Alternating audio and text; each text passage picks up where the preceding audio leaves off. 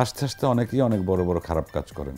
যেমন মজাও পাবেন, তেমন মাঝে মধ্যে কিন্তু সেলিমকে দেখে আপনারা ভয়ও পাবেন। সিটের উপর দিয়ে লাভ দিয়ে গিয়ে ওর কাছ থেকে স্টিয়ারিংটা নিয়ে নেব আমি। প্রিয় দর্শক, আমি চঞ্চল চৌধুরী অভিনয় করেছি চুরকি অরিজিনাল সিরিজ ওভার ট্রাম্পে আমি এসেছি আপনাদের সঙ্গে একটু কথা বলতে, আড্ডা দিতে। এক কথা যেটা বলা যায় যে এটা কমেডি ক্রাইম থ্রিলার মানে আমাদের এই সমাজে কিন্তু অনেক ঘটনা ঘটে। হাসতে হাসতে অনেকেই অনেক বড় বড় খারাপ কাজ করেন। তা সেই জিনিসটা আমার মনে হয় আপনারা ওভার ট্রাম্পের দেখতে পারবেন যে হেসে খেলেও অনেক কিছু করা যায়।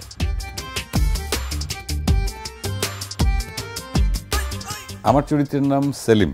এই সেলিম হচ্ছে পালের গোদা যে একটা মানে বস মানুষ বস পাবলিক সে তার যারা তার শিষ্য সাবত যারা আছে তাদের সঙ্গে সবসময় মজা করেই কথা বলে শাস্তিও দেয় মজা করে। একদম চুপ। মুক্তারি মারাও তাই না? মুক্তারি আবার তাদেরকে আবার এমনভাবে কথা বলে যে তারা ভয়ও পায় কিন্তু তাকে।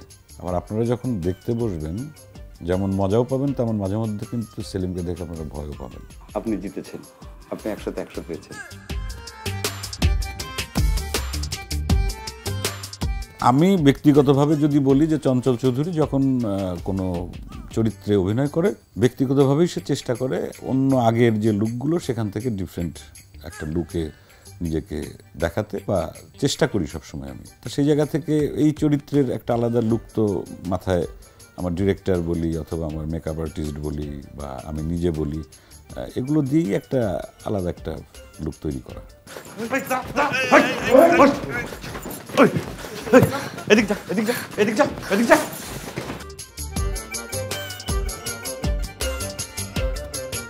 শুটিংয়ের সময় মনে আছে শুটিংয়ের সময় সবচেয়ে ম- বেশি মনে আছে হচ্ছে একটা প্রাইভেট কার আর কি যেটা আমাদের অভিনেতা মনোহর আর কি চালায়। তো ওইটা খুব মজার মানে গাড়িটাই ছিল একটা মজার ক্যারেক্টার গাড়িতে তেল তুলস নাই খালি বডি নিয়ে আইসস। ওই গাড়িটা রাস্তার মধ্যে থেমে যায় হ্যাঁ নষ্ট হয়ে যায়। এবং ওটা ড্রাইভ করার কথা মনোহরের তা আমি জানি যে ওই গাড়িতে প্রচুর সিকোয়েন্স আছে। নিশ্চয়ই মনোহর খুব ভালো গাড়ি চালায়। ও আমাকে বলল যে চালাতে পারে, কিন্তু আসলে আমি দেখি যে ও খুব বেশি ভালো চালাতে পারে না। এখন এমনি একটু স্টার্ট দিয়ে এগিয়ে যাওয়া চালানো আর পুরো ঢাকা শহরের বিভিন্ন জায়গায় চালিয়ে হাইওয়েতে আমার ধারণা যে কখনো ও যদি কোনো ঝামেলা করে, একদম ওর সিটের উপর দিয়ে লাভ দিয়ে গিয়ে ওর কাছ থেকে স্টিয়ারিংটা নিয়ে নেব আমি। এবং এই জীবন মরণ মানে বাজি রেখে আর কি ওই গাড়িতে শ্যুট করা। এবং ধমকা ধমকি মানে অনেক সময় রাগারাগি করেছি, তুমি পারো না তাহলে তুমি রাজি হলো কেন? কখন অ্যাক্সিডেন্ট করি না করি। এবং অ্যাক্সিডেন্ট অনেক জায়গায় হতে হতেও আমরা বেঁচে গেছি।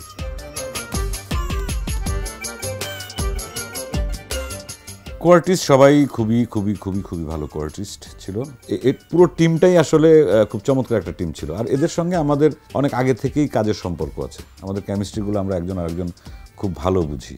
তো সব কিছু মিলিয়ে আর বাসার জর্জিস, যে আমার বন্ধু, এই ওভার ট্রাম্পের ডিরেক্টর, ওর সঙ্গে আমার বহু বছরের পরিচয়। কাজটা হয়তো ওর সঙ্গেই প্রথম করা হলো ওয়েব সিরিজে বা ওর প্রথম কোনো কাজ আমি করলাম, কিন্তু পরিচয় অনেক দিনের এবং ও আমার অভিনয় সম্পর্কে ওর জানাশোনা আছে বা একসঙ্গে সেই কেমিস্ট্রিটাও মেলাটা খুবই মানে সহজ ব্যাপার ছিল, কোনো কঠিন কিছু ছিল না। টোটাল টিমটা তারপর আমি মেকআপের টিম বলি মেকআপ আর্টিস্ট ছিল সেতু, সেতুর টিম তারপর কস্টিউমে যারা ছিল সব সব কিছু মিলিয়েই একটা চমৎকার একটা টিম ছিল। আর এখন আমি যেটা মনে করি যে একটা ভালো কাজের জন্য একটা ভালো টিম আসলে দরকার।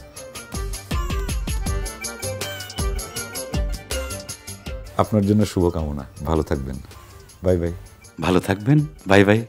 ওভার ট্রাম্প চরকির প্রথম ক্রাইম কমেডি সিরিজ যদি এখন পর্যন্ত আপনারা ওভার ট্রাম্প দেখে না থাকেন খুব দ্রুত দেখে ফেলুন। চরকি সাবস্ক্রাইব করুন ওভার ট্রাম্প দেখুন। আরেকটা কথা, যারা ভালো কার্ড খেলতে পারেন, তারা নিশ্চয়ই ভালো বুঝবেন। ট্রাম্পের ওপর যখন ট্রাম্প মারা হয় তখনই সেটা হচ্ছে ওভার ট্রাম্প মিস করবেন না। যত তাড়াতাড়ি সম্ভব দেখে ফেলুন Chorki original series Overtrump bye bye. আপনার জন্য শুভকামনা।